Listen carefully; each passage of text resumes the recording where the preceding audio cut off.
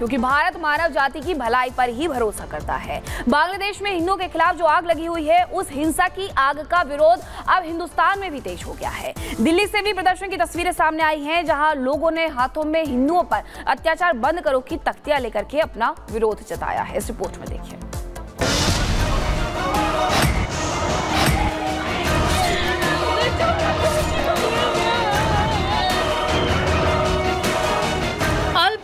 अल्पसंख्यक हिंदू आबादी पर हमला। हिंदुओं के घरों में आगजनी मंदिरों में तोड़ फोड़ पाँच अगस्त को हुए तख्ता पलट के बाद बांग्लादेश में हालात आउट ऑफ़ कंट्रोल हैं। शेख हसीना के देश छोड़ने के बाद से ही हिंदू आबादी निशाने पर है।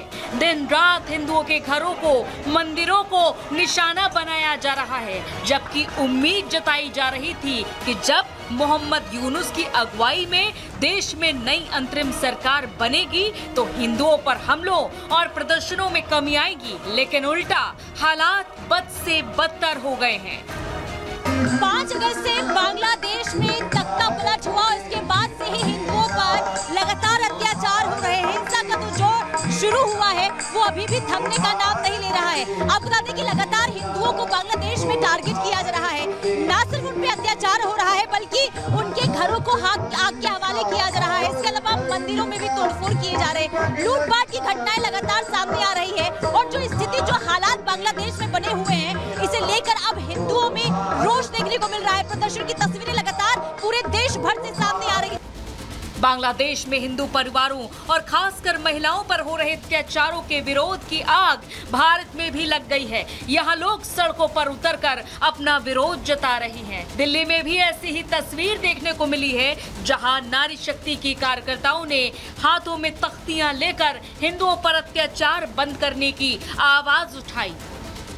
यहाँ पे किस तरह से महिलाएँ, भारी संख्या में यहाँ महिलाएँ हैं। आगे की तस्वीरें दिखाए तो देखिए पूरे मंडी हाउस गोल चक्कर में, पूरे मंडी हाउस गोल चक्कर में यहाँ पे देखिए कार्यकर्ताओं की भीड़ आप देख सकते हैं, नारी शक्ति के जितने भी कार्यकर्ता हैं, खासतौर पर जो महिलाएँ हैं, वो यहाँ पे पहुँची हुई है अपना विरोध दर्ज कराने के लिए, हाथों में झंडे भी हैं। मैम, लगातार ये विरोध देखने को मिल रहा है। कई बार खाली इंडिया ही नहीं, बल्कि देश के अलग अलग कोने से आवाज़ भी उठ रही है कि हिंदुओं पर ये अत्याचार बंद हो, लेकिन बांग्लादेश जो है, वो सुनने का नाम नहीं ले रहा है। लगातार हिंदुओं को टारगेट कर रहा है। वो तो ऑल ओवर द वर्ल्ड हो रहा है ना। हिंदू तो बिकॉज़ हम लोग सॉफ्ट हैं जेंटल हैं प्यार देते हैं काइंड हैं रिटेलिएट नहीं करते विशेष नहीं है तो इसीलिए ये लोग सब लोग हिंदुओं को टारगेट करते हैं।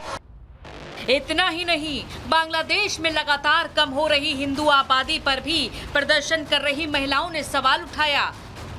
1947 में जो 30 परसेंट थे, आज वो 8 परसेंट कैसे रह गए हैं? 1947 देखिए 1971 देखिए, उसके बाद जब बाबरी ढांचा टूटा, लगातार इनको मारा जा रहा है, इनके धर्म के कारण, वो भागकर हिंदुस्तान आ रहे हैं। इनको रहने का हक है। वरना अफ़गानिस्तान, पाकिस्तान लगभग हिंदू विहीन हो गया है। बांग्लादेश भी हिंदू वहीन होने के कागार पर है। We all should stand up. The world should stand up. Screams. Bangladesh में एक तरफ़ तो मोहम्मद यूनुस शांति का पैगाम दे रहे हैं तो दूसरी तरफ़ हिंदुओं पर जिहादियों के हमले नहीं रुक रहे हैं। लगातार हिंदुओं को निशाना बनाकर हमले किए जा रहे हैं और पूरा बांग्लादेश हिंसा की आग में झुलस रहा है, जल रहा है। Bureau report, Republic Bharat. और बांग्लादेश में हो रही हिंसा को लेकर भारत ने प्रदर्शन लगातार जारी है। तस्वीरें आप तक हम पहुँचा रहे हैं। दिल्ली में भी आज एक ऐसा ही प्रदर्शन दोपहर में किया गया। उस प्रदर्शन में शामिल होने के लिए भारतीय जनता पार्टी की पूर्व नेता नुपुर शर्मा पहुँची। रिपब्लिक भारत ने उनसे खास बातचीत की। सुनिए क्या कहना है उनका। लगातार वहाँ पे हिंदुओं पर अत्याचार हो रहा है। मंदिरों मंदिरों को निशाना बनाया जा रहा है। I'm just going to say Hindu lives matter. About time we all realize Hindu lives matter. That's it.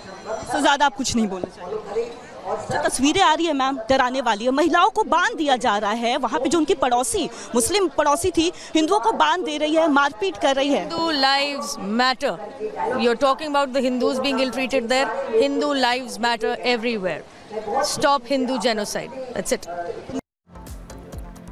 और अब बात करेंगे चुनावी शंखनाद की। जम्मू कश्मीर हरियाणा विधानसभा चुनावों का ऐलान हो चुका है। हरियाणा विधानसभा चुनाव एक चरण में होने वाले हैं, जिसके लिए एक चरण में वोटिंग होगी। तो उसी के साथ आपको बता दें कि जम्मू कश्मीर में तीन चरणों में वोटिंग होने वाली है। जम्मू कश्मीर की अगर हम बात करें तो तीन चरणों में विधानसभा की ये चुनाव 18 सितंबर और साथ ही इसके 25 सितंबर को वोटिंग होगी। एक अक्टूबर को भी वोटिंग होगी, तीसरा चरण होगा। चार अक्टूबर को दोनों ही राज्यों के परिणाम सामने आ जाएँगे। तो आज प्रेस कॉन्फ्रेंस की गई थी, चुनाव आयोग की तरफ़ से जिनकी तरफ़ से से ये जानकारी दी गई है कि हरियाणा में एक चरण में तो वहीं तीन चरणों में चुनाव होने वाले हैं जम्मू कश्मीर में। Election in J and K will be held in three phases so this is a shorter period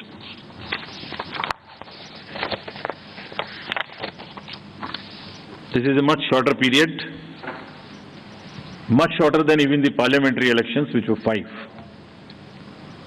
20th of August, just the next day of the Amarnath Yatra being complete, the 19th, would be the date of notification for the first phase, nominations till 27th, scrutiny on the next day 28th, and date of poll will be 18th of September, and it's a Wednesday.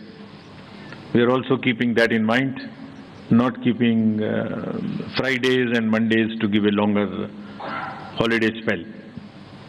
Second phase would be on 29th of August, and the statutory period of nominations and all, poll being on 25th of September. And phase 3, nomination on 5th of September, and every voting finishing on 1st of October. So नहीं, बहुत अच्छी बात है। एक अक्टूबर को हरियाणा के चुनाव होंगे। बहुत अच्छा मौसम होता है। लोग बड़ी संख्या में निकल कर आएँगे और जहाँ तक हमारी पार्टी की बात है, हमारी पार्टी पूरी तरह से तैयार है। हमने बहुत पहले से तैयारी शुरू कर दी थी और हमारे कार्यकर्ता तो वैसे हर वक्त ही तैयार रहते हैं। हमारे कार्यकर्ता कभी बैरकों में नहीं जाते, हमेशा फ़ील्ड में रहते हैं और पूरी तरह से चुनाव लड़ने के लिए तैयार हैं। पूरी तरह से तैयार हैं। लोग भी तैयार हैं। लोग छत्तीसगढ़ ने फैसला कर रखा है। ये अगली सरकार कांग्रेस पार्टी की सरकार होगी। देर आयत दुरुस्त आयत हमारे यहाँ कहते हैं कि देर से आया बट चलो, फिर भी एक कदम तो लिया, वरना एप्रीहेंशन बहुत थी। जिस तरह से government of India home ministry parliament के अंदर एक वादा पार्लियामेंट के बाहर दूसरा चीज़ होता था। चूँकि जम्मू कश्मीर के लोग कहाँ हैं, और बहुत ही मतलब इच्छुक है कि किसी न किसी तरीके से यहाँ असम्बली बननी चाहिए, और वो अपने लोगों को चुन सके, अच्छे नुमाइंदों को चुन सके, जो उनको डे एंड नाइट अपने तकलीफ़ात को सुने, ये मच अवेटेड था। मुझे लगता है जम्मू कश्मीर के लोगों के लिए जमहूरी तरीके से सबसे बड़ा खुशी का दिन ये है, जो शायद लोगों को लगता था कि अब जम्मू कश्मीर में चुनाव कभी होगा नहीं। मगर वो मौका अब उनको मिलेगा। अच्छी पार्टी, अच्छे मैनिफेस्टो को और अच्छे नुमाइंदों को चुन के भेजें, ताकि हाउस बनने के बाद में हम स्टेट रेस्टोर करने की अपनी लड़ाई जारी रखें। चलिए, देर आए, दुरुस्त आए। इलेक्शन कमीशन के तरफ़ से तीन फेजेस में इंतबात के तारीख का ऐलान हो चुका है और बड़ी जल्दी से जो है ये शेड्यूल जो है समाप्त होगा। 87 88 के बाद ये पहली मर्तबा है कि इतने कम अरसे के अंदर और इतने कम फेजेस में इलेक्शन जो हैं जम्मू कश्मीर में कराए जा रहे हैं।